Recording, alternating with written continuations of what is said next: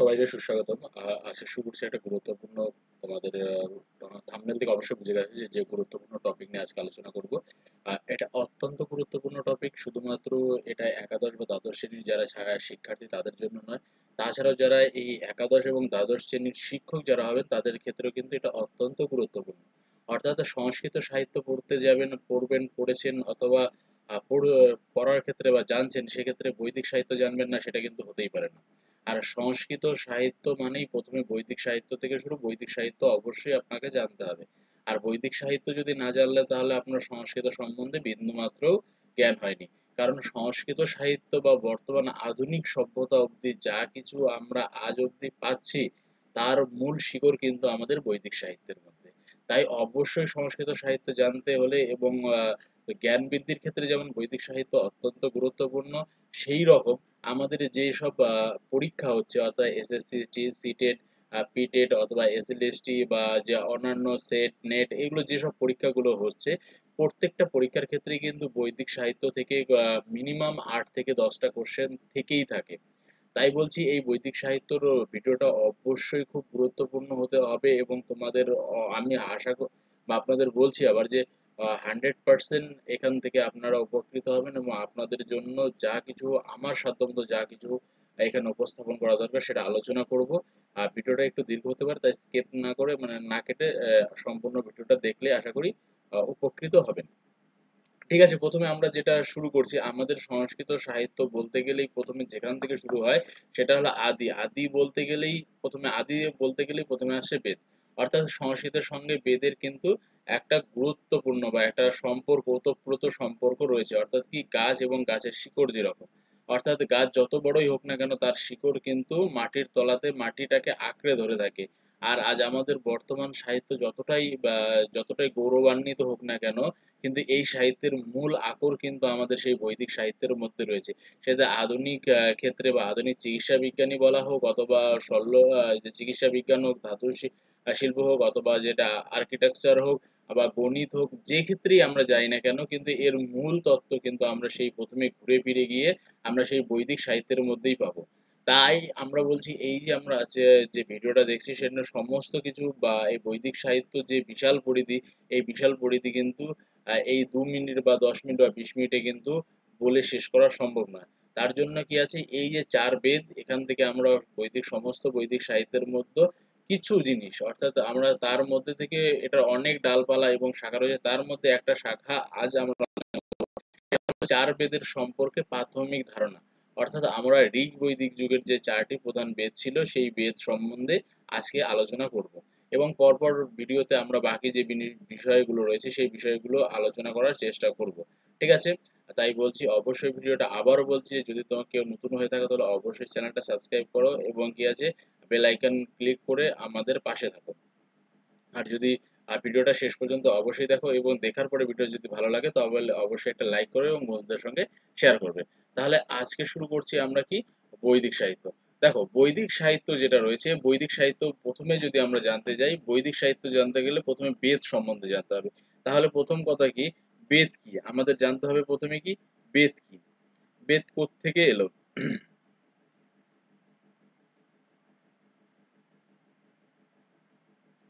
তাহলে কি? প্রথম কথা হলো বেদ কি? বেদ এটা কিন্তু প্রথম কোশ্চেন অর্থাৎ কি? এখান থেকে বেদ কি? তাহলে বেদ কি? এটা তো সবারই কোশ্চেন তাহলে বেদ কি? সেটা বেদ কি হলো? জ্ঞান। বেদ শব্দ যেটা রয়েছে, বেদ শব্দটা বিদ ধাতু থেকে রয়েছে, আর তার অর্থ হলো জ্ঞান। তাহলে কীভাবে এসে বেদ শব্দটা? তাহলে এবারে যদি আমরা সাধারণভাবে দেখি, এটাকে আমরা যদি ভাঙি, তাহলে কি পাচ্ছি? বিদ এই যে ধাতু রয়েছে, ধাতুর সঙ্গে কি আছে? বিদ্যা, ধাতুর সঙ্গে বা উত্তর কথাটা পরে কিছু ঘয় প্রত্যয় ঘ প্রত্যয় যোগ করার পরে কি হয়েছে? বেদ শব্দ নিষ্পন্ন হয়েছে। সমান সমান এই বেদ এই বেদ শব্দটা নিষ্পন্ন হয়েছে। তাহলে কি আবার দেখো যে বেদ শব্দটা কীভাবে নিষ্পন্ন হয়েছে? যেখানে বলা হলো বিদ্ধাতু, বিদ্ধাতুর পরে ঘয় প্রত্যয় যুক্ত হয়ে বেদ শব্দটা কিন্তু নিষ্পন্ন হয়েছে। তাহলে বেদের যে বেদের যে লক্ষণ, এ যা প্রাচীন মুনি ঋষি যারা ছিলেন, তারা কিন্তু বেদ বিষয়ে কিছু লক্ষণের উল্লেখ করেছেন।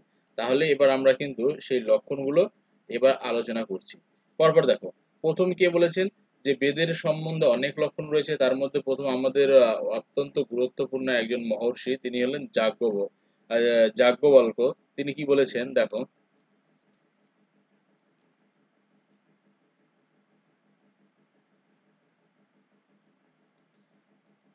যাজ্ঞবল্কে কি বলছে? যাজ্ঞবল্ক বলেছেন যে প্রত্যক্ষানুমিত্য়া যা বস্তু না বিদ্যতে এনম বিদন্তি বেদ, বেদেন তসমদ বেদেশ বেদতা। তাহলে কি প্রত্যক্ষানুয়নমিত্বা যা জস্তু পায় না বিদ্যতে? অর্থাৎ প্রত্যক্ষ বা অনুমানের দ্বারা, প্রত্যক্ষ বা অনুমানের দ্বারা যে জ্ঞান লাভ করার কোনো উপায় নেই। অর্থাৎ প্রত্যক্ষ বা অনুমানের দ্বারা আমরা যে জ্ঞান লাভ করতে অসমর্থ। সেই জ্ঞান কি আছে? সেই অতীন্দ্রিয় জ্ঞান। বা যে জ্ঞানটা সেই অতীন্দ্রিয় জ্ঞানটাই হলো বেদ। তাহলে বেদকে কি বলা হলো? যেটা প্রত্যক্ষ, অর্থাৎ প্রত্যক্ষ অনুমিত্য অর্থাৎ প্রত্যক্ষ এবং অনুমানের দ্বারা অনুমিত্যা বা জস্তু জস্তু উপায়ও অর্থাৎ কি? যা অনুমানের দ্বারা যে জ্ঞান লাভ করা সম্ভব নয়, এনম বিদন্তি বেদেন আছে এই রূপ বা সেই রূপ কি আছে? বেদন্তি বেদনা তসমাদ বেদেশ বেদতা। এটাই হলো কি সেই অতীন্দ্রিয় বেদ এবং থেকে লাভ করা যায়। আর এই জন্যই বলা হয় বা এই জন্যই ধর্মগ্রন্থকে বা এই ধর্মগ্রন্থকেই বেদ বলা হয়ে থাকে। অপর যে আছে, তিনি কে বলেছেন? অপর আছে আমাদের যে ভাষ্যকর, ভাষ্যকার কে আছে? সায়নাচার্য। সায়নাচার্য কি বলেছেন? সায়নাচার্য বলেছেন যে ইষ্টপ্রাপ্তি অনিষ্ট পরিহারায় অলৌকিক মুপায় जो গ্রন্থ বেদিয়তে বেদিয়তে স্ব বেদস্য বেদতা, স্ব বেদস্য বেদতা। এবার কি বলা হলো? অর্থাৎ ইষ্টপ্রাপ্তি অনিষ্ট পরিহারায় ইষ্টপ্রাপ্তি কি বলতে বোঝেন? ইষ্ট কথার অর্থ হলো আমাদের ইচ্ছা যেটা, ইষ্টপ্রাপ্তি এবং অনিষ্ট পরিহারায় অলৌকিক উপায় যেটা অনিষ্ট, আমাদের জন্য ক্ষতিকার, সেটাকে কি হবে? যে পরিহার করবে, অর্থাৎ দূরে যাবে যোগন্তব্য দিয়ে দেয় অর্থাৎ অলৌকিক উপায়েও যোগন্তব্য দিয়ে যেটা অলৌকিক উপায়ে যে গ্রন্থ জানিয়ে দেয়, অর্থাৎ কি যে লৌকিক উপায়, লৌকিক অর্থাৎ আমরা সাধারণ যে আচার আচরণ করছি সেটা হলো লৌকিক। আর অলৌকিক যেটা কি হলো, সেটা হলো দেব দেবী যারা যে ব্যাপারটা হয়েছে, অর্থাৎ কি আমরা সাধারণ লোকে যে যে ঘটনাগুলোকে দেখতে পাই না, সেটাকে বলা হয় অলৌকিক। তাহলে এই যে বলা হলো যে অলৌকিক উপায়ে যে গ্রন্থ জানিয়ে দেয়, তাকেই বলা হয় বেদ। এরপরে দেখো যে আবার বলা হয়েছে যে শ্রৌত সূত্রকার আপস্তম্ভ আপস্তম্ভ যিনি ছিলেন একজন, তিনি কি বলেছেন? তিনি হলো শ্রৌত সূত্রকার। তো শ্রৌত সূত্র লিখেছেন আপস্তম্ভ বা আপস্তম্ভের শ্রৌত সূত্রের কথা তোমরা অনেকেই জেনে জানো বা আমি মনে করি বেশিরভাগ যারা ভিডিও দেখছে বেশিরভাগই জানো। তারা কি আছে যে এই আপস্তম্ভের যে মানে সূত্র রয়েছে, সেই সূত্রে কিন্তু তিনি বলেছেন। কি বলেছেন? মন্ত্র ব্রহ্মণয়োর বেদর নামধেম মন্ত্র ব্রহ্মণয়োর বেদর নাম ধেম অর্থাৎ কি মন্ত্রাত্মক এবং ব্রাহ্মণাত্মক গ্রন্থকেই বেদ বলা হয়েছে। কি বলা হয়েছে? মন্ত্রাত্মক, অর্থাৎ কি যেখানে মন্ত্র আছে এবং কি বলা হলো?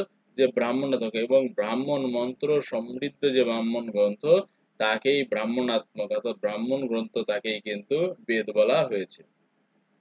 আবার এরপরে দেখো, আচার্য মনু। আচার্য মনু কিন্তু এই বেদ সম্বন্ধে নিজের মত প্রকাশ করেছেন। তিনি কি বলেছেন? দেখো, এখানে তিনি বলেছেন যে বেদ ইয়াকিল ধর্মমূলক। কি বলেছেন? বেদ ইয়াকিল ধর্মমূলক। কি বলা হলো? যে অখিল ধর্মের মূল, অর্থাৎ সারা পৃথিবীর যে ধর্ম, বা এখানে বলা হয়েছে সেই অখিল, অর্থাৎ পৃথিবীর, সেই পৃথিবীর ধর্মর মূলই হলো বেদ। এবার হলো এই অখিল, এরপরে দেখো যে কে বলেছে? ধর্মশাস্ত্রকর গৌতম।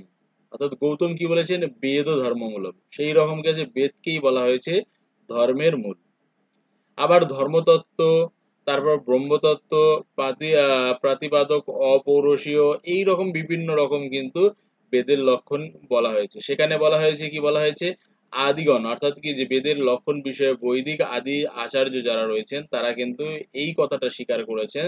তারা বলেছেন, ধর্ম ব্রাহ্মণী বেদেই ক বেদেই এখানে কি বলা হলো ব্রহ্ম ধর্ম ব্রাহ্মণী বেদেই ক বেদেই অর্থাৎ কি যে এখানে দেখো যে ধর্মতত্ত্ব এবং ব্রহ্মতত্ত্বের প্রতিপাদক অপৌরসীয় শ্রুতি বচনই হলো বেদ। তাহলে এবার দেখো যে বেদ শব্দটা আছে, বেদ শব্দের অর্থ কি? তাহলে বেদ শব্দের অর্থ কি? তাহলে বেদ শব্দের অর্থ দেখো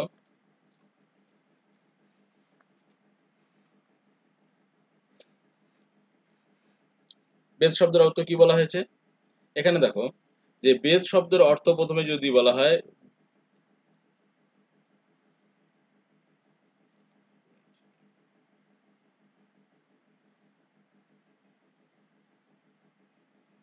বেদ। বেদ শব্দের অর্থ কি? বেদ শব্দের অর্থ হলো জ্ঞান।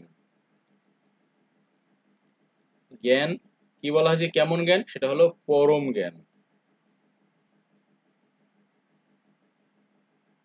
বেদ শব্দ জ্ঞান, পরম জ্ঞান। আর আরেকটা বলা হয়, অনেন অনেন, আনেন ইতি। অর্থাৎ কি?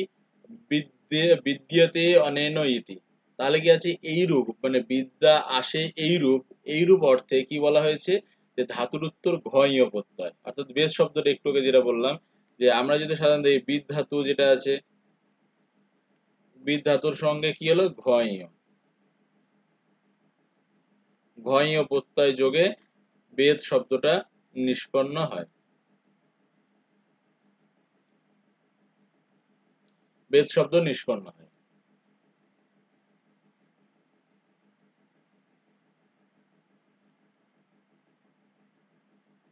বেদ শব্দটা নিষ্পন্ন হয়। তাহলে কি বলা হলো?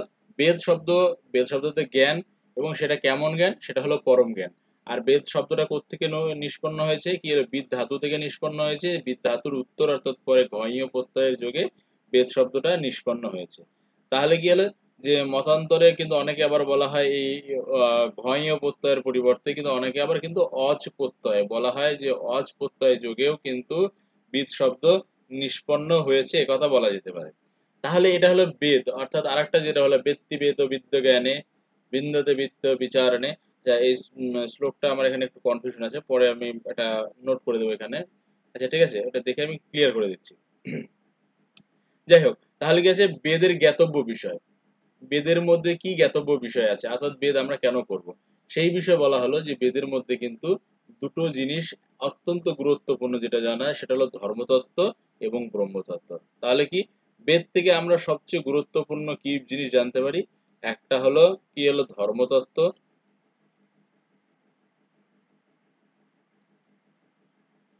তত্ত্ব আর দুই নাম্বার হলো, কি বলা হলো? দুই নাম্বার ব্রহ্মতত্ত্ব।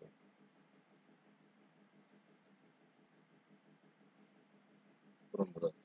তাহলে এই থেকে কি জানতে পারি? একটা হলো কি ধর্মতত্ত্ব এবং দ্বিতীয় হলো ব্রহ্মতত্ত্ব।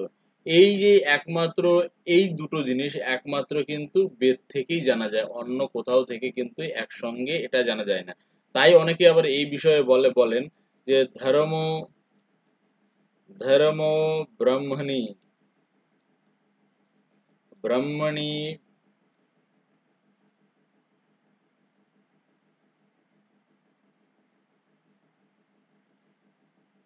वेदैको की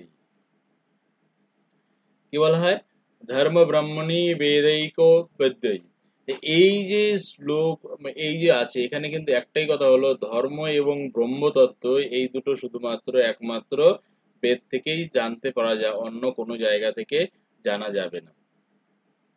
আর বেদ শব্দটা যদি আমরা বলি, আর বেদ শব্দের মধ্যে বা এই আমরা যে চার বেদ পড়ি, সেই বেদের মধ্যে সর্বপ্রথম অর্থাৎ যে জিনিসটা তোমাদের হয়, যে অর্থাৎ যজন যাজনের জন্য বা এটা পঠন এবং পাঠনের জন্য যাকে প্রয়োজন তিনি হলেন ঋষি। তিনি কে? ঋষি। অর্থাৎ যিনি যাগ, যজ্ঞ এবং অধ্যয়ন, অধ্যাপনা এই কাজের সঙ্গে যুক্ত থাকেন, তাকে বলা হয় ঋষি। যেমন তোমরা অনেকেই জানো, মহর্ষি, বাল্মীকি, দুর্বাসা এরকম প্রভৃতি ঋষির নাম রয়েছে এবং এই ঋষি থেকেই কিন্তু পরবর্তীতে আমাদের একটা করে কি বলা হয়? যে আমাদের গোষ্ঠীর তৈরি হয়েছে। যেমন আমাদের বলা হয় গোত্র, প্রত্যেকের একটা নিজস্ব গোত্র আছে।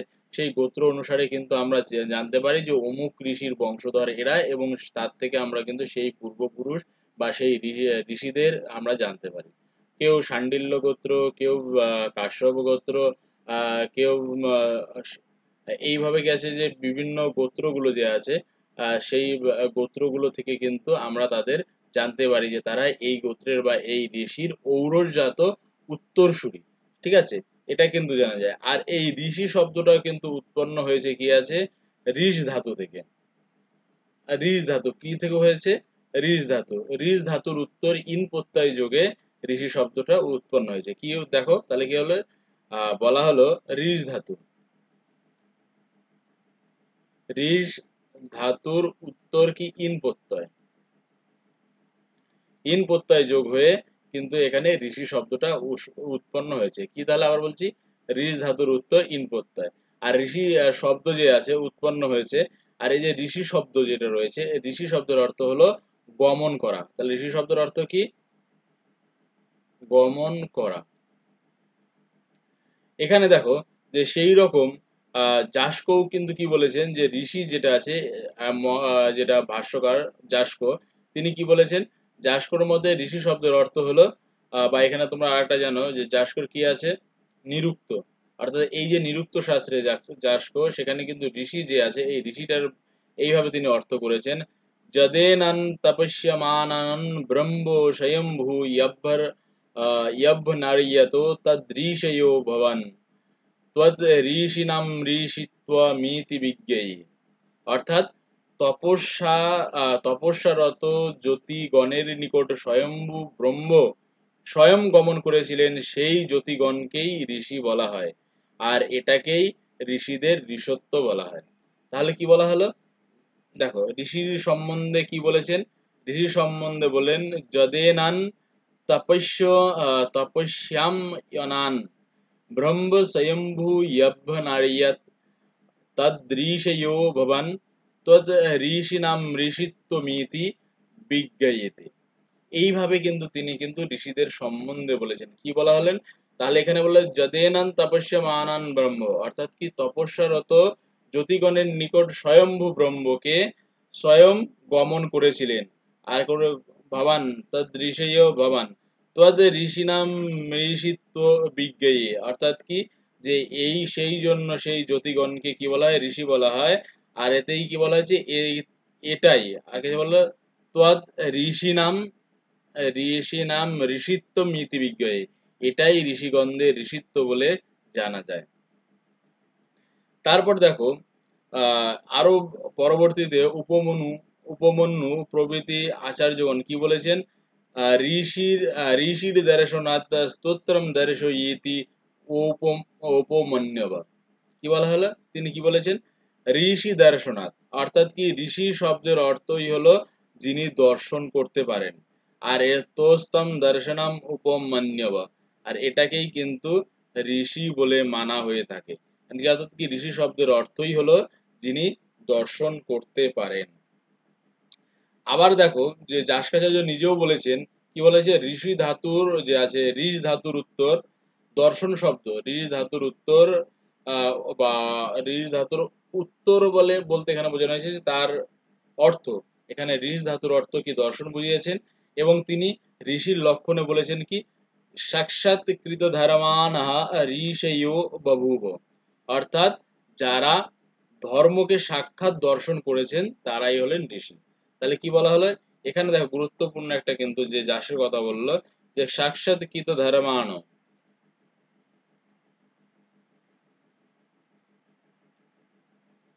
সাক্ষাৎ কৃত ধর্মান ধর্মান ঋষয়ে ঋষये বভুব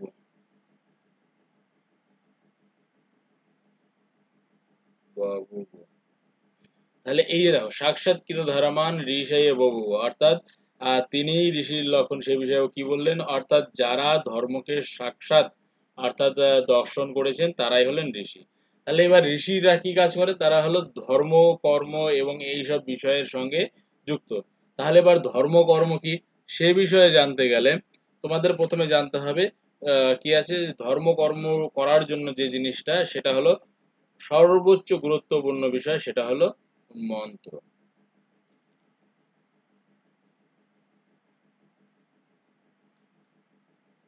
মন্ত্র অর্থাৎ এই যে ঋষিরা ধর্ম কর্ম করছে, সেক্ষেত্রে নির্দিষ্ট কিছু মন্ত্র আছে, সেই মন্ত্রের দ্বারা তারা কিন্তু তাদের কার্যটা সম্পন্ন করছে। তাহলে এই যে মন্ত্র, মন্ত্রটা কোথায় পাওয়া যায়? ঋক, সাম, যজু, অথর্ব, এই যে চারটি বেদ রয়েছে, সেই বোধে, বেদের মধ্যে কিন্তু সংহিতা অংশে অংশ যেটা আছে, সেই সংহিতা অংশকেই কিন্তু মন্ত্র বুঝিয়ে থাকে। তাহলে আমরা যদি প্রথমে যেটা আলোচনা করতে, আমাদের যে বেদ আছে, বেদে কি আছে? চারটি ভাগ। চারটি ভাগ কে করেছেন? কৃষ্ণ দ্বৈপায়ন বেদব্যাস। দ্বৈপায়ন বেদব্যাস। বেদব্যাস তিনি কি করেছেন? বেদকে চারটি ভাগে ভাগ করেছেন। সেটা হলো কি কি? ঋক, যজু শাম আর হলো অথর্ব। অথর্ব। তাহলে এই যে চারটি বেদে, চারটি ভাগে কি আছে? বেদকে ভাগ করেছে। এই চারটি বেদের মধ্যেই কিন্তু মন্ত্র শব্দটা রয়েছে। সে মন্ত্র শব্দের অর্থ কি? মন্ত্র শব্দ যদি বলি, এই মন্ত্র শব্দের অর্থ হলো মনন, এখানে কি মনন বা মনে রাখা? মনন, এটা কি আছে? যে তাহলে এই মন্ত্র শব্দটা কিন্তু মূল শব্দ যেটা হলো, সেটা হলো মনন। এই মনন শব্দ থেকে কিন্তু পরবর্তীতে মন্ত্র শব্দটা এসছে। কি বলা হয়? মনন শব্দ থেকেই পরবর্তীতে মন্ত্র শব্দটা এসছে। তাহলে এই যে চার বেদে মন্ত্র শব্দ রয়েছে, এই মন্ত্র শব্দটা যদি মূল ধাতু বলা হয় কি? মূল ধাতু কি আছে? মন ধাতু। কি ধাতু রয়েছে? মূল ধাতু হলো মন। মন ধাতুর সঙ্গে বা মন ধাতুর সঙ্গে কিন্তু পরবর্তীতে প্রত্যয় যোগ হয়ে এখানে কিন্তু মন্ত্র শব্দটা নিষ্পন্ন হয়েছে। এখানে তাহলে দেখো যে এই যে যাস্ক তার নিরুক্ত গ্রন্থে মন্ত্র সম্বন্ধে কি বলেছেন? তিনি কিন্তু মন্ত্রের সংজ্ঞা বিষয়ে নিরুক্ত তার মানে সরি যাস্ক তার নিরুক্ত যে গ্রন্থ রয়েছে, সেই নিরুক্ত গ্রন্থে মন্ত্র বিষয়ে কি বলেছে? মন্ত্রা মনোনাথ। অর্থাৎ এটা কি বলেছে? কোট করে সেটা বলা হয়েছে, সাত, বারো, এক। তাহলে কি সাত, বারো, এক? এখানে কি বলেছেন তিনি? অর্থাৎ মনন। অর্থাৎ এখানে কি মনন, মন্ত্রা মননাথ। অর্থাৎ কি মনন থেকেই মন্ত্রের উৎপত্তি হয়েছে। মনন থেকে কি মন্ত্রটা কি হয়েছে? মনন শব্দটা, অর্থাৎ কোনো কিছু বারবার মনে করা, সেখান থেকেই কিন্তু মন্ত্র শব্দটা নিষ্পন্ন হয়েছে। অর্থাৎ যা থেকে কর্ম এবং তদানুষ্ঠান উপযোগী, অর্থাৎ সেই সময়ের অনুষ্ঠান উপযোগী যে উপকরণীয় জিনিস বা দ্রব্যাদি, তাই কিন্তু এই অনুষ্ঠানে করা হতো এবং তা কিন্তু ফলদায়ী দেবতা, অর্থাৎ সেই দেবতাকে মননের জন্য যে সব স্তুতি করা হতো, তাই কিন্তু মন্ত্র। এখন দেখা গেল যে কোনো একটা যজ্ঞ হলো, সেখানে কি আমরা সূর্যদেবকে তুষ্ট করার জন্য আমরা মন্ত্র উচ্চারণ করছি। তাহলে কি সেই মন্ত্রের উদ্দেশ্যে কে থাকবে? সেই সূর্যদেব। আর তাকে স্তুতি করে এবং তাকে উদ্দেশ্য যে নিবেদন করা হচ্ছে, এই কথাটা বা, এই স্তুতি যে বাক্য স্বরূপ যে বাক্যগুলো প্রয়োগ হচ্ছে, সেটাকেই কিন্তু মন্ত্র বলা হয়। আর কি বলা হলো? যে তো, আর সেই মন্ত্রে প্রয়োজনীয় যে সব অনুষ্ঠানের ফলদাত্রী, সেই দেবতাগণ মননের জন্য যে শব্দবন্ধ প্রয়োগ করা হয়, তাই হলো মন্ত্র। এ প্রসঙ্গে আরেকটা জিনিস, টিকাকার দুর্গাচার্য যিনি ছিলেন, তিনি কি বলেছেন? দুর্গাচার্য বলেছেন, বেদের মন্ত্রসমূহ থেকে আদি বৈদিক, আদি যাজ্ঞিক এবং আধ্যাত্মিক বিষয়গুলি মনন বা কি বলা হলো? যে মনন বা বোধের, বোধ উৎপন্ন হয়। কি আছে? আধ্যাত্মিক বিষয়াবলীর মনন বা, কি আছে? বোধ উৎপন্ন হয়। আর মন্ত্র সকল যথার্থ রূপে বিনিযুক্ত, বিযুক্ত হলে বা বিনিযুক্ত হলে তাদের অভিষ্ট ফল মানে দান করতে সমর্থ হয়। এই যে মন্ত্রের দ্বারা অভিষ্ট ফল লাভ করল বা যে মন্ত্র তাকে অভিষ্ট ফল লাভ করতে সাহায্য করল, তাকেই বলা হয় মন্ত্র। তাহলে এবার এই তো মন্ত্র সম্বন্ধে বলা হলো। এবার কিন্তু আমরা একটু আগে বললাম বেদ চার। এই বেদ চারটি হলেও কিন্তু সবাই কিন্তু এই বেদকে, চারটি বেদকে স্বীকার করেন। তারা কি বলেন? যে বেদ সাধারণত বেদ বেদ সাধারণত তিন প্রকার।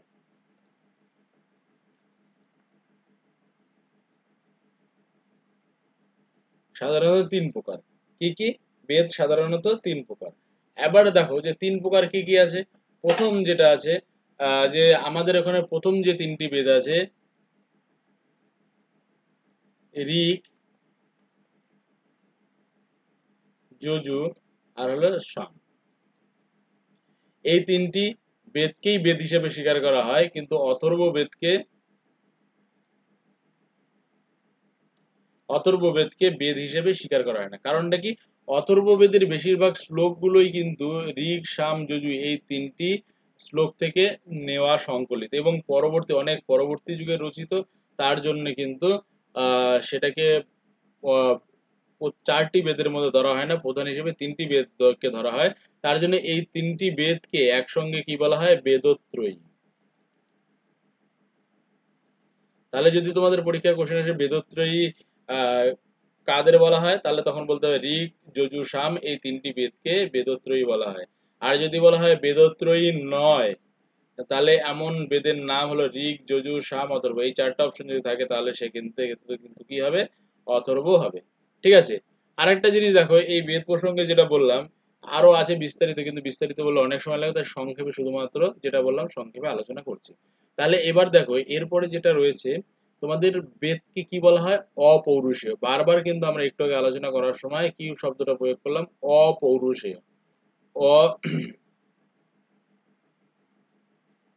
পৌরুষীয়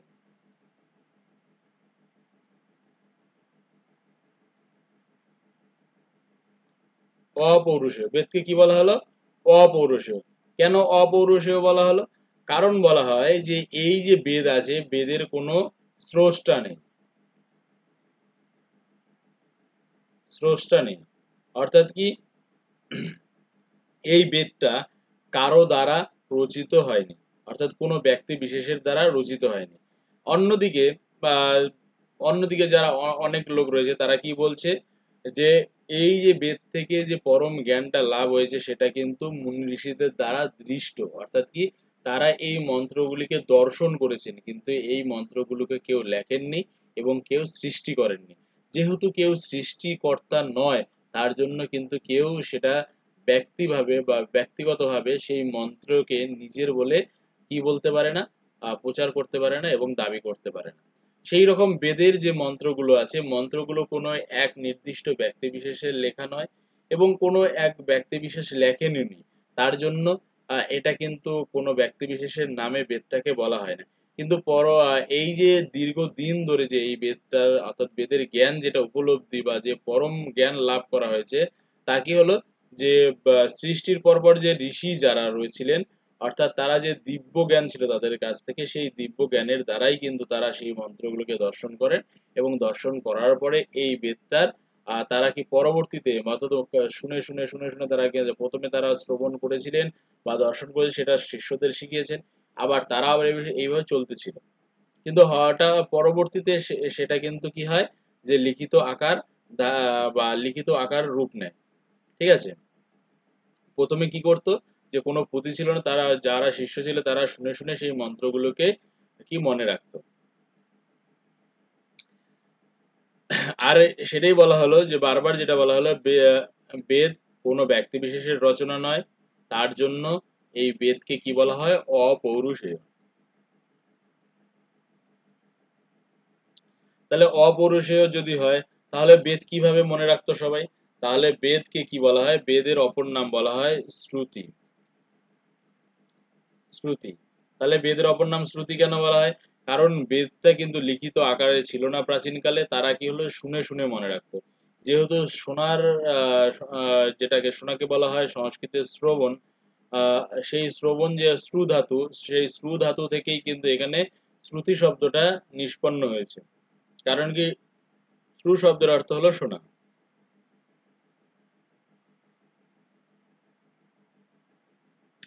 ঠিক আছে?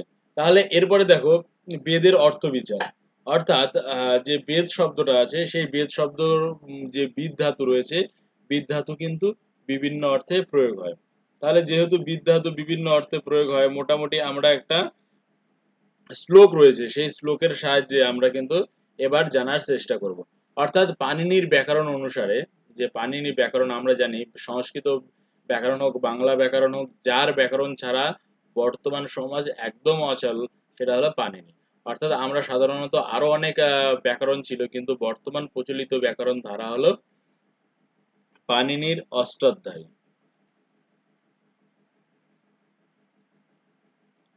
পানিনির অষ্টাধ্যায়ী।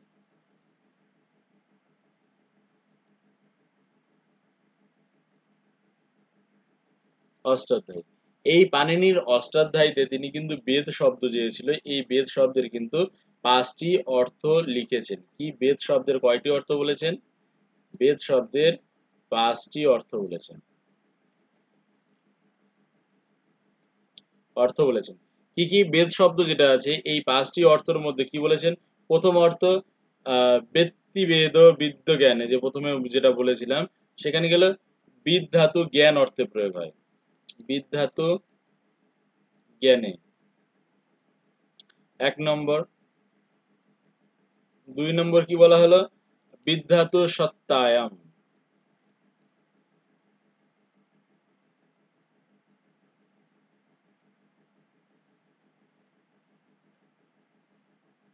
সত্যায়ন তিন নম্বর কি বলা হলো? তিন নম্বরে বলা হলো বৃদ লাভে।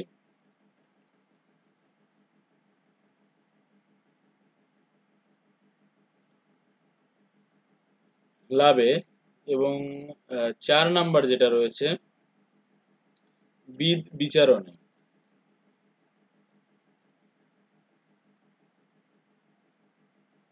বিচারণে এবং পাঁচ নাম্বার বলা হয়েছে চেতনাখ্যান নিবাসে। অর্থাৎ পাঁচ নম্বরে যেটা বলা হলো, চেতনা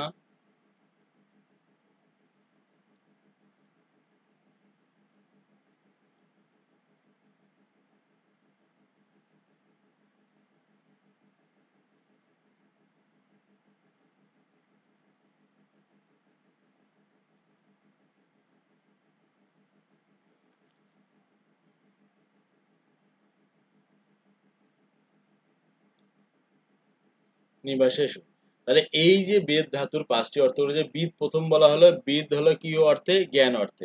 অর্থাৎ এই যে বেদ শব্দ আছে, বেদ ধাতুর অর্থ ঘয় প্রত্যয় করলে প্রথমে কি হলো? জ্ঞান উৎপন্ন হয়। সেই যে শব্দটা উৎপন্ন হয় বিদ, সেই অর্থ হলো জ্ঞান। অর্থাৎ সে ব্যক্তি জানাতি। অর্থাৎ কি এর অর্থ হবে? ব্যক্তি জানাতি ধর্মাদি পুরুষার্থ চতুষ্টয়োপন অনেন ইতি বেদ। কি বলা হলো? ব্যক্তি জানাতি প্রথম যেটা আছে, জ্ঞান অর্থে কি? ব্যক্তি জানাতি। কি জানায়?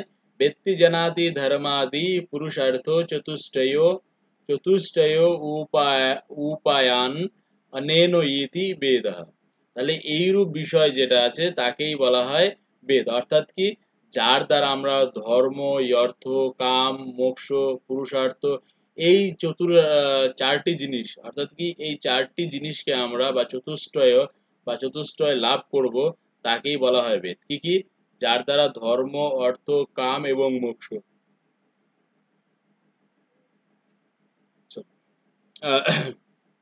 তাহলে হলো?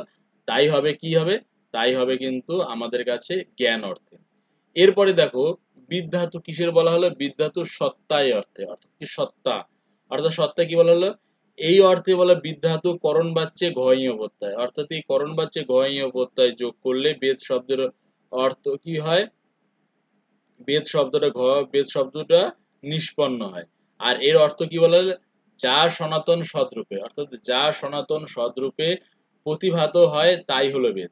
অর্থাৎ সনাতন বলতে কি বোঝানো হয়? যা সদাই নতুন। অর্থাৎ যা সবসময় কোনো সময় প্রাচীন হয় না সেই রূপ জিনিসকে বলা হয় সনাতন। এই প্রসঙ্গে মহর্ষি বেদব্যাস কি বলেছেন? মহর্ষি বেদব্যাস তার মহাভারত যে রয়েছে, মহাভারতে বলেছেন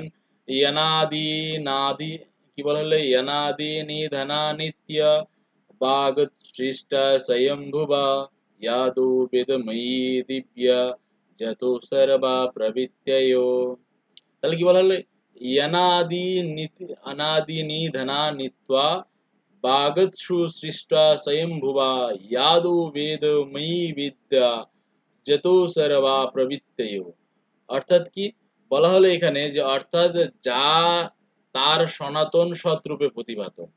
অর্থাৎ অনাদি নিধান নিত্য, অর্থাৎ কি যার আদি এবং অন্ত নেই, নিত্য বাগসু বাক সুসৃষ্টা স্বয়ংভুবা যে নিজে নিজেই সৃষ্ট।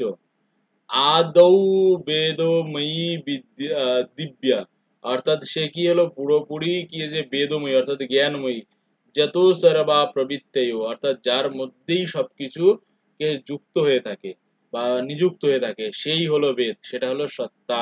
অর্থাৎ এখানে কি এই আমাদের যে সত্তা, এই সত্তাটাই হলো অর্থাৎ জ্ঞান, সেই জ্ঞানই হলো কি?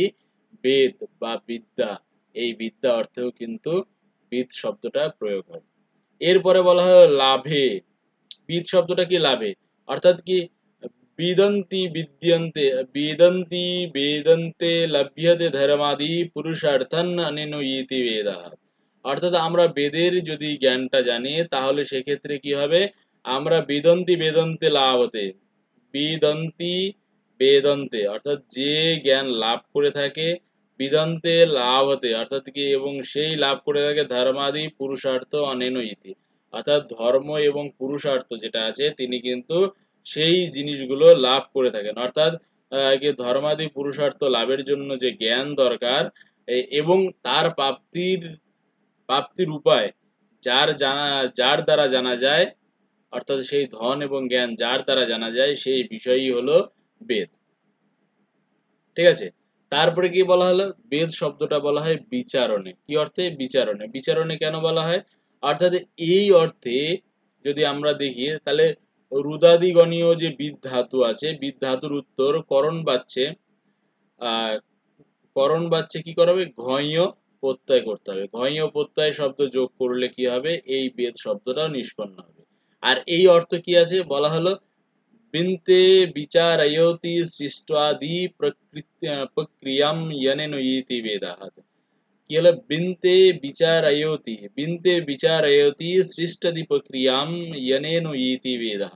অর্থাৎ এই বেদ শব্দ, এই বেদ শব্দ দ্বারা সৃষ্ট প্রক্রিয়া, অর্থাৎ এই বেদ শব্দ দ্বারা যে সৃষ্ট প্রক্রিয়া আছে, সেই বিচার রূপ অর্থই হলো অভিব্যক্ত। অর্থাৎ সেই বিচার রূপ যে প্রক্রিয়া আছে, সেটাই কিন্তু এখানে কি হয়? অর্থ অভিব্যক্ত হয়। এরপরে দেখো, পাঁচ নম্বর যেটা রয়েছে, সেটা হলো চেতনা। চেতনার অর্থে কি বলা হলো? এই অর্থে বলা হলো, চূড়াদিগণীয় যে বিধাতু আছে, সেই বিধাতুর উত্তর করণ বাচ্চে কি বলা? হলো করণ বাচ্চে ঘয় প্রত্যয় করলেও কিন্তু বেদ শব্দ নিষ্পন্ন হয়। আর এই যে বেদ শব্দটা হবে, এই বেদ শব্দের অর্থ হলো সৃষ্টির আদিতে পূর্বকল্প অনুসারে কর্ম, নাম এবং আদি রূপে আখ্যান এই সকল অর্থই কি বলা হয়? প্রতীতি বা প্রতীত করে। কি করে? যে বলা হলো বেদ শব্দ সৃষ্টির আদিতে পূর্বকল্পিত, অর্থাৎ এর চেতনা। সৃষ্টির আদিতে কি ছিল? পূর্ব কল্পিত ছিল। এবং এর পরে এর অনুসারে কি হলো, কর্ম, নাম এবং আদি পুরুষের আখ্যান সকলই কিন্তু প্রকাশিত হয়। সুতরাং বিভিন্ন রকম এই যে আমরা উপরে আলোচনা করলাম, বিভিন্ন রকম পাঁচ ধরনের যে বেদ শব্দটা রয়েছে, এই বেদ শব্দগুলো কি কি? বলা হলো অধিভৌতিক, অধিদৈবিক এবং আধ্যাত্মিক। এই তিন অর্থরই প্রতিপাদক এবং পুরুষার্থ চতুষ্ট কি কি বলা হলো পুরুষার্থ যে চতুষ্ট আছে, চার পুরুষার্থ আছে, সেই পুরুষার্থ এবং সমস্ত জ্ঞান বিজ্ঞানের সংবাহক তথা ভারতীয় ঋষি বা ভারতীয় ঋষি মনীষীদের প্রত্যক্ষ বা আদর্শ হলো এই বেদ। ঠিক আছে? এর দেবতাকে, যদি বলা হয় এর দেবতাকে, তাহলে এই যে আমাদের বেদ রয়েছে, বেদের কিন্তু একজন কোনো দেবতা নেই। তাহলে এবার আমরা জানব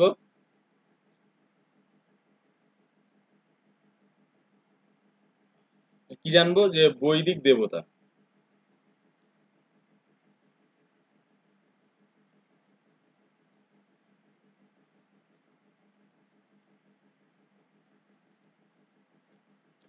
বৈদিক দেবতা। তাহলে এবার দেখো যে দেবতা কে? আমাদের প্রথমে জানতে হবে দেবতাকে তাহলে বলা হলো, প্রতি মন্ত্রেন যদি বা প্রত্যেকটা যে মন্ত্র আছে, প্রত্যেকটা মন্ত্রের অধিষ্ঠার্থী, অর্থাৎ যে প্রধান, প্রত্যেকটা মন্ত্রের একজন করে যে প্রধান আছে, বা তাকেই যে মন্ত্র বা যাকে উদ্দেশ্য করে মন্ত্র করা হয়, সেই হলো কিন্তু সেই মন্ত্রের দেবতা। যেমন ঋগ্বেদে প্রায় বলা হয় হাজার আঠাশটি মন্ত্র রয়েছে। এই প্রত্যেকটা মন্ত্রেরই কিন্তু একজন করে প্রধান দেবতা রয়েছে। অর্থাৎ কি? যাকে উদ্দেশ্য করে এই মন্ত্রগুলো প্রয়োগ করা হয়ে থাকে, এই যাকে উদ্দেশ্য করে এই মন্ত্রগুলোর প্রয়োগ করা হয়ে থাকে, সেই কিন্তু সেই মন্ত্রের দেবতা। তাহলে এবার যদি বলি হয় যে সেই মন্ত্রের দেবতা কারা? তাহলে সেই মন্ত্রের দ্বারা এবং কি বলা হয়? দেবতা। দেবতাদের আহ্বান এবং স্তুতি করা হয়। কি করা হয়? স্তুতি বা প্রশংসা করা হয়ে থাকে। সেক্ষেত্রে কি দেবতা, দেবী, দেব, দেবী প্রভৃতি শব্দ যে দ্বীপ শব্দ, অর্থাৎ দ্বীপ শব্দ থেকেও নিষ্পন্ন হয়। আর এই যে দ্বীপ দ্বীপ শব্দের সঙ্গে অস্পত্যায় যোগ করলে কিন্তু কি হয়? দেব দেব কি হয়? উৎপন্ন করলে কি হয়? দেব শব্দ নিষ্পন্ন হয়। আবার বলছি,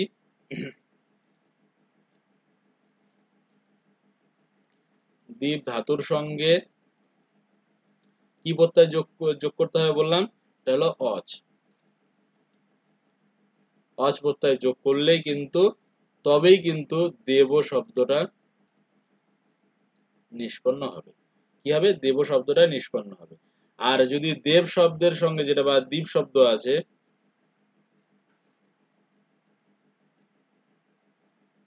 দ্বীপ শব্দের সঙ্গে আমরা যদি তল প্রত্যয় তল প্রত্যয় যুক্ত করি, তাহলেই কিন্তু দেবতা এই পদটি নিষ্পন্ন হবে। তাহলে এবার দেব এবং দেবতা কাদের বলা হয়? তাহলে এখানে বলা হয় যিনি প্রকাশ পান, অর্থাৎ যিনি প্রকাশ পান বা যিনি ভাস্বর তিনি হলেন স্বপ্রকাশিত তিনি হলেন দেবতা। তাহলে দ্বীপ ধাতুর অর্থ হলো দ্বীপ ধাতুর অর্থ দ্বীপ ধাতু কথা প্রকাশ করা। কেমন ভাবে প্রকাশ? যিনি নিজে নিজেই প্রকাশ পান, অর্থাৎ কি ভাস্বর, এবং তিনি কি স্বপ্রকাশিত, অর্থাৎ সে নিজে নিজেই প্রকাশিত তাকেই বা সেই রূপ যে ব্যক্তি বা যে যে দেব বা যে মনীষী তাকেই কিন্তু আমাদের বলা হয় দেবতা।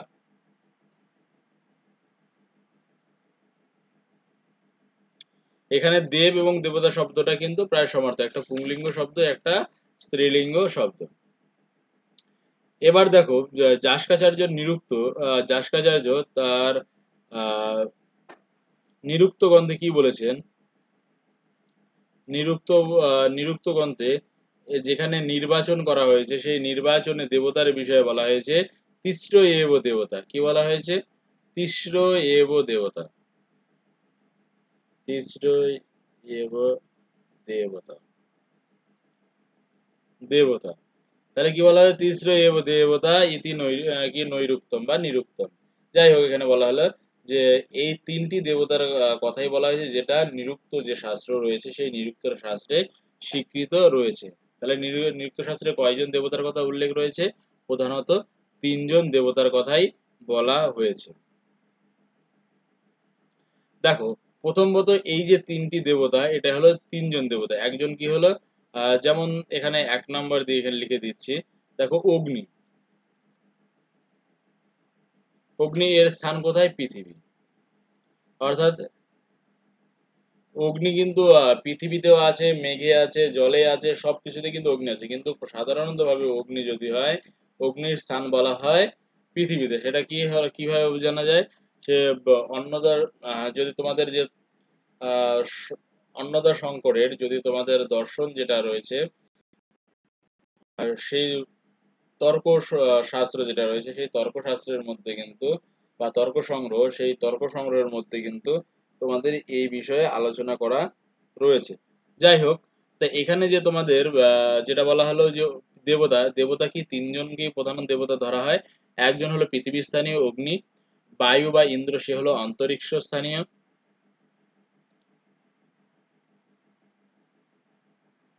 বায়ু বা, কি বলা হলো? ইন্দ্র। ইন্দ্র এটা কোথায়? অন্তরিক্ষ স্থানীয়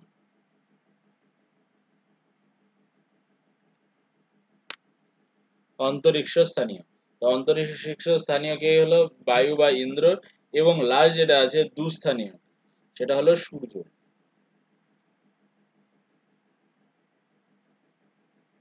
সূর্য, সে কি? দুলোকে। দুলোক। অর্থাৎ কি এদের অবস্থান তাহলে কি প্রধানত তিনটে দেবতা? এছাড়া কিন্তু আরও অনেক দেবতা রয়েছে। কিন্তু সেটা প্রধানত ভাবে কিন্তু এখানে দুজন বা তিনজন দেবতার কথাই স্বীকার করা হয়েছে। কি তিস্র দেবতা কে কে বলা হলো? যে পৃথিবী স্থানীয় অগ্নি এবং অন্তরিক্ষ স্থানীয় বায়ু বা ইন্দ্র এবং কি বলা হলো? দুস্থানীয় হলো সূর্য। ঠিক আছে? তো এবার দেখো যে প্রত্যেকটা যে আমাদের বৈদিক সাহিত্য রয়েছে, ঋগ, সাম, যজু, অথর্ব, এদের কিন্তু আবার ভাগ রয়েছে। কি আছে? সংহিতা, ব্রাহ্মণ, আরণ্যক এবং উপনিষদ। এইভাবে কিন্তু এদেরও কিন্তু একটা করে ভাগ রয়েছে।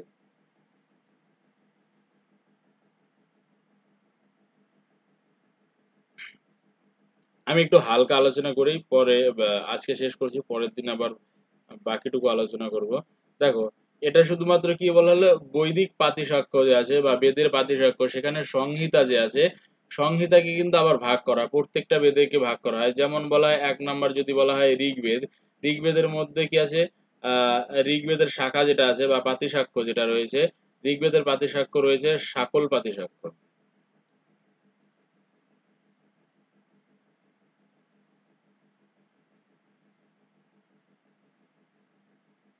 পাতিসাক্ষ্য। এবং দেখো, যে দুই নম্বর যেটা বলা হয় সামবেদ। সামবেদের কোন পাতি সাক্ষ্য আছে? সামবেদের সামপাতি সাক্ষ্য সামপাতি সাক্ষ্য আর তারপর বলল পুষ্পপাতি সাক্ষ্য পুষ্পপাতি বা পুষ্প সূত্র বলা হয়। পুষ্পসূত্র তারপর বলা হলো পঞ্চবিধ।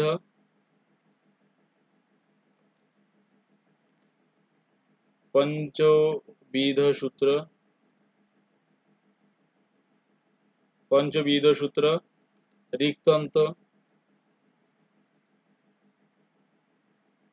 ঋকতন্ত্র ব্যাকরণ। এই হলো সামবেদের মধ্যে পাওয়া যায় এবং এরপর কৃষ্ণ যজুর্বেদ যেটা রয়েছে। কৃষ্ণ যজুর্বেদের মধ্যে দেখো কি রয়েছে? তৈত্রীয় পাতিসাক্ষ্য। কি বলা হলো? তৈতরীয়।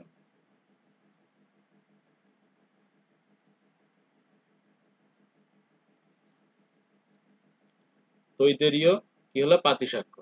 এই যে তৈতরীয় পাতিসাক্ষ্য বলা হয়, এই তৈতরীয় পাতিসাক্ষীর কি বলা হয়েছে? এটা কি কৃষ্ণ যজুর্বেদের বা তৈতরীয় প্রাতিসাক্ষ্য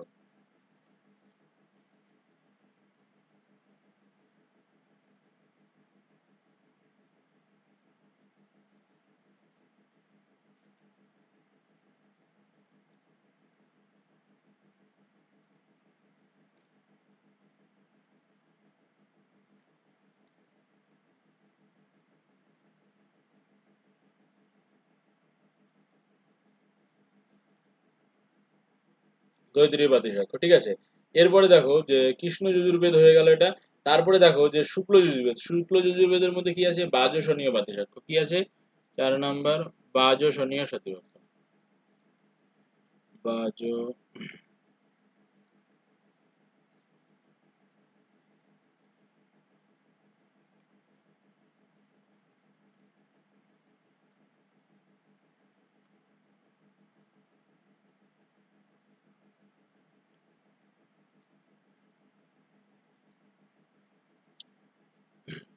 বাজসনীয় সংহিতা পাতির সাক্ষ্য।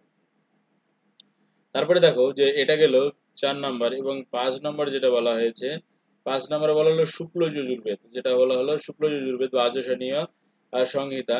তারপরে দেখো যে অথর্ববেদ যেটা রয়েছে, অথর্ববেদের মধ্যে গেলে যে অথর্ববেদ পাতিসাক্ষ্য সূত্র এবং কি বলা হলো সৌনকীয় চতুরাধ্যায়িকা।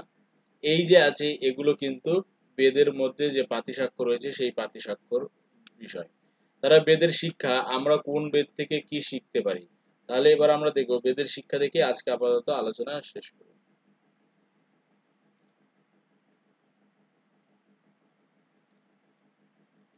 প্রথমে দেখো এখানে যে বেদ রয়েছে যে, বেদের কি বলল শিক্ষা গ্রন্থ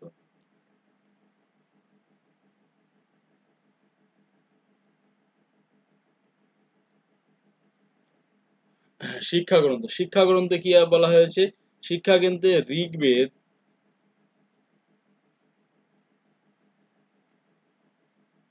ঋগ্বেদ প্লাস এখানে যজুর্বেদ যেটা রয়েছে। যজুর্বেদ যেটা রয়েছে, যজুর্বেদের যে শিক্ষা কি আছে? সেটা হলো পানিনীয় শিক্ষা।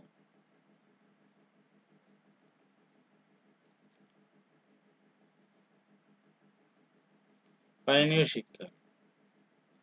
এবং দুই নম্বর যেটা আছে, সামবেদ। সামবেদ। সামবেদের কি বলা হলো? সামবেদের হলো নারদীয় শিক্ষা।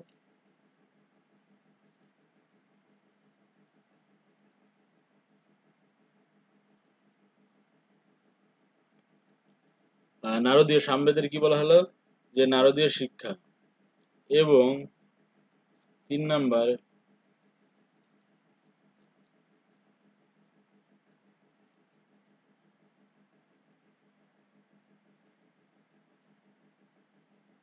তাহলে কৃষ্ণ যজুর্বেদ। সেই কৃষ্ণ যজুর্বেদের মধ্যে কি আছে? ব্যাস ব্যাস শিক্ষা। এবং চার নাম্বার যেটা আছে, যে শুক্ল যজু আগে বলা হলো শুক্ল যজুর্বেদ। শুক্ল যজুর্বেদের কি আছে?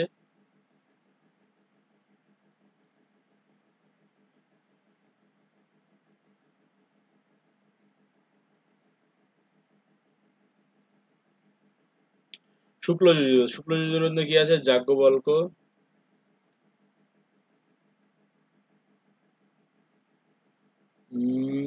যাজ্ঞবল্ক আচ্ছা শুক্ল যজুর্বেদে যে আছে যাজ্ঞবল্ক রয়েছে।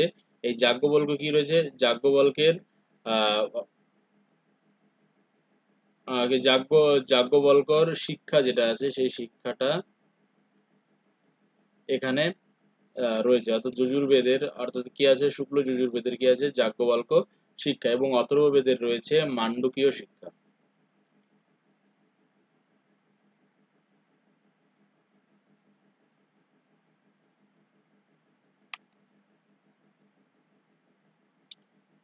মান্ডকীয় শিক্ষা। তাহলে কি বলা হলো? হ্যাঁ এই তাহলে ঋগ্বেদে ঋগ এবং যজুর মধ্যে কি পানিনীয় শিক্ষা? সামবেদের সঙ্গে নারদীয় শিক্ষা এবং কৃষ্ণ যজুর্বেদের মধ্যে ব্যাস কি বলা হলো? ব্যাস শিক্ষা এবং শুক্ল যজুর্বেদে রয়েছে, যাজ্ঞবল্ক শিক্ষা এবং অথর্ববেদে রয়েছে মান্ডকীয় শিক্ষা। আর একটা জিনিস বেদের যে রক্ষা করার জন্য প্রচলিত যে পাঠ রয়েছে, সেটাকে কি আবার বলা হয়? সেই রক্ষা করার জন্য অর্থাৎ এগারোটি পাঠ প্রচলিত আছে। কতটি পাঠ? এগারোটি পাঠ প্রচলিত আছে। যথা দেখো যথা কি বলা হলো? যে এখানে এই যে আমাদের পাঠ রয়েছে, অর্থাৎ এগারোটি পাঠ, সেটার মধ্যে সংহিতা ব্রাহ্মণ, আরণ্যক মানে সংহিতা পাঠ পদপাঠ, ক্রমপাঠ, জটাপাঠ, মালাপাঠ তারপর বলা হলো রেখা রেখা পাঠ শিখা পাঠ, ধ্বজ কি ধ্বজরথ, রথপদ রথ পাঠ এবং দণ্ড পাঠ। তাহলে কি কি হলো? যে এগারোটি পাঠ কি কি? প্রথম বলা হলো সংহিতা পাঠ, পদপাঠ ক্রমপাঠ, জটাপাঠ, মালাপাঠ, রেখাপাঠ, শিখাপাঠ, ধ্বজপাঠ, রথপাঠ ও দণ্ড পাঠ আজ এইটুকুই। পরবর্তী ক্লাসে আবার পরবর্তী, এর যে পরবর্তী ক্লাস, সেখানে কিন্তু বাকিটুকু আলোচনা করব। ভালো থাকো, সুস্থ থাকো। আজ এই পর্যন্ত।